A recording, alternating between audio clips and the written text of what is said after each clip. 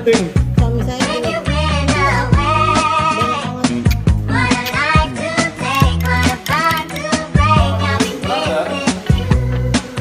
Yang mana digunakan apa?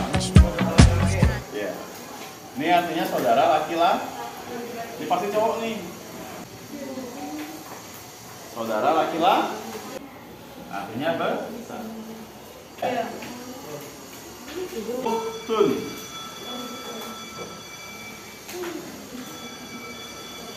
Pil